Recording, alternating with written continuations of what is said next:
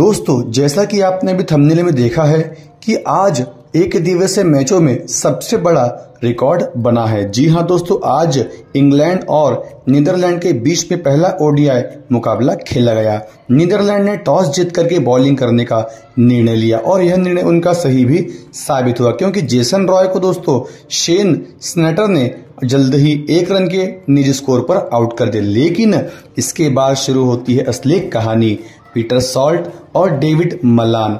ये दो बल्लेबाजों ने ऐसा तूफ़ान लाया दोस्तों कि इंग्लैंड की टीम ने एक दिवसीय मैचों का सबसे बड़ा रिकॉर्ड, सबसे बड़ा टोटल आज खड़ा किया है। दोस्तों, एक रन पर पहला विकेट गिरने के बाद सॉल्ट और सॉल्ट और मलान ने बहुत ही बड़ी साझेदारी की। 222 रन की पार्टनरशिप करने के बाद एक ऐसा तूफ़ान लाया जोस बटलर ने कि उस तूफ़ान में नीदरलैंड की सारी बॉलिंग की धज्जियाँ उड़ गई। दोस्तों जोस बटलर इस नाम से हम काफ़ी ज़्यादा वाकिफ है। जोस बटलर एक ऐसा खिलाड़ी है जो चाहे तो पूरा पासा अपने दम पर पलट सकता है।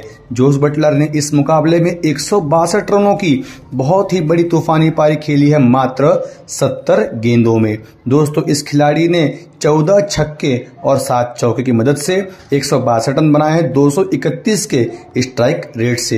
इयन मॉर्गन की बात करें और जेसन रॉय की बात करें, यह दोनों बहुत ही जल्दी आउट हो गए थे, लेकिन सॉल्ट मल्लान और लायन लिविंगस्टोन और फिर जोस बटलर इन्होंने मिलकर के टीम का स्कोर चार रन, यानी कि 500 रन से मात्र दो रन कम का स्कोर नीदरलैंड कमज़ोर बॉलिंग खिलाफ किया है। कमज़ोर बॉलिंग की पूरी धज्जिया इस टीम ने उड़ा दी है।